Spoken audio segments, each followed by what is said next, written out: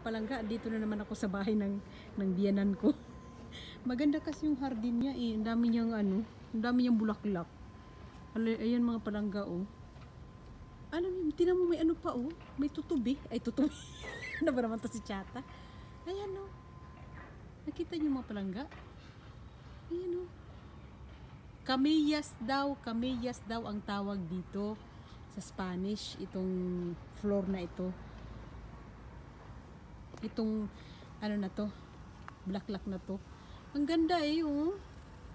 Tingnan niyo nga palangga, oh. Siguro matamis tong bulaklak na to kasi oh, kumakain yung ano, bubuyog.